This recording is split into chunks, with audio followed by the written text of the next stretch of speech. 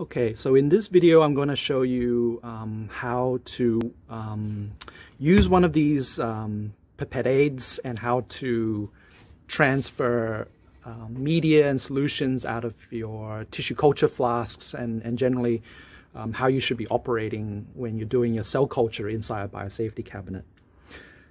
Now if you watched the video on how to turn one of these on and if you're really observant, the, one of the uh, one thing you may notice is how quiet it is. Um, why can't you hear the fan? Okay, so I turned the fan off just for the purposes of this demonstration so you can actually hear what I'm saying um, uh, without the noise of the fan in the background. Okay, so because this is just a demonstration, I don't really need to keep the contents of this flask and the, this media and the solution sterile, so this is just to show you how to work in this space. Okay, so the first thing I'll start off with is this um, gadget here.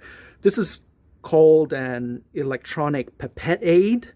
Um, it's also called a, called a pipette gun, but basically it, it's, a, it's just another form of a pipette. It's a liquid handling device, and it's designed to be used with these um, serological pipettes.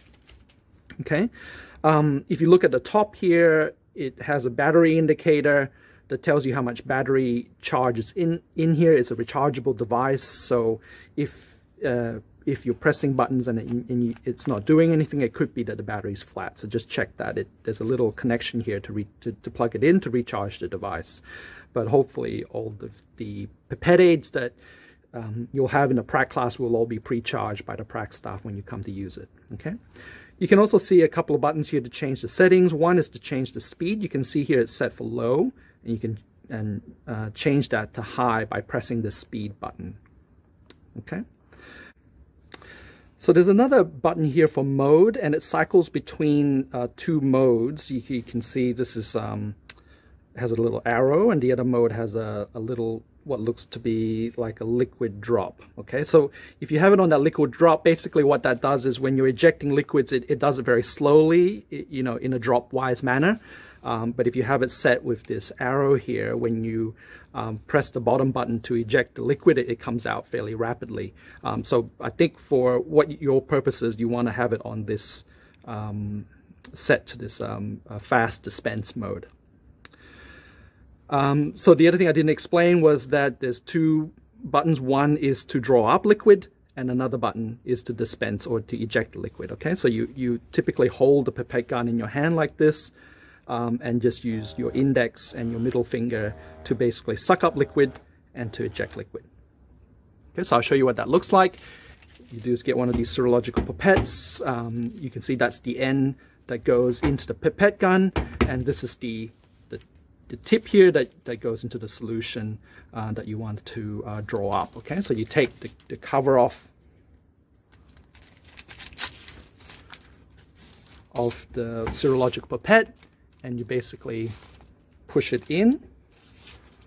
Okay, so you want to avoid touching this end here because that's the bit that's going to be going into your cell culture, into, into your media. So you want to avoid touching that to keep that as clean as possible. So always handle the serological pipette at, at the top here. And to draw up liquid, as I said, it's basically you put it into the solution and you hold the top button to draw up liquid. Okay, and you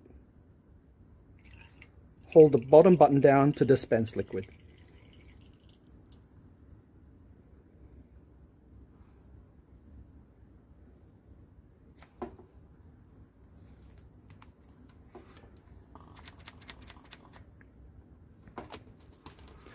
Um, and you can see on these serological pipettes, um, there's um, marks here to indicate uh, what volume you're taking up and, and, and dispensing, right? So if we wanted to take up um, six mils, it's at this mark here, okay? So six, right? Now you can see that.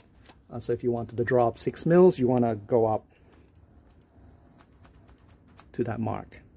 You can see there, all right? And then you dispense the liquid by pressing down.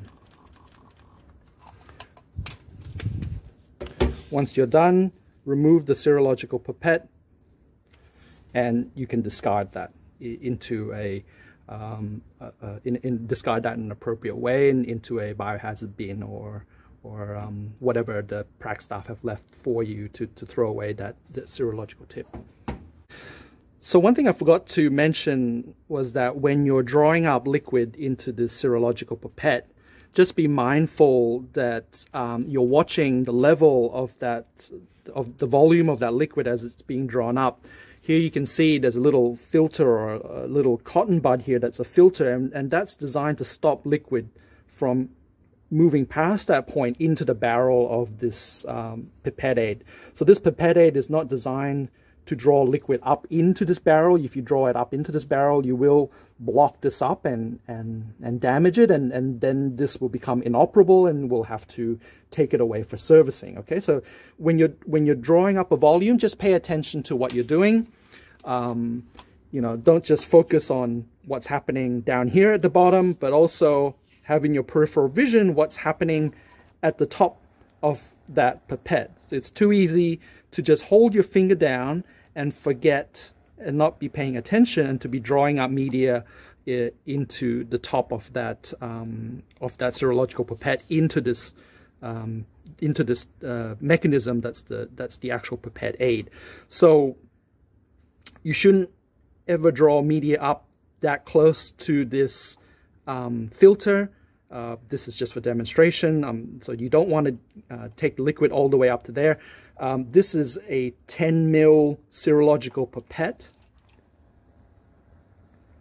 And the 10 mil mark is, is here, right, at this zero point. If I turn this around, it says 10 on the other side. So this is this serological pipette is designed to transfer a maximum of 10 mils. If you want to do more than 10 mils, you basically have to do it twice or get a larger size serological pipette. This extra space here is just as um, um, for backup, I guess, to to just in case you overshoot that mark, you have some um, uh, space to work with before it ends up inside this pipette, pipette aid mechanism.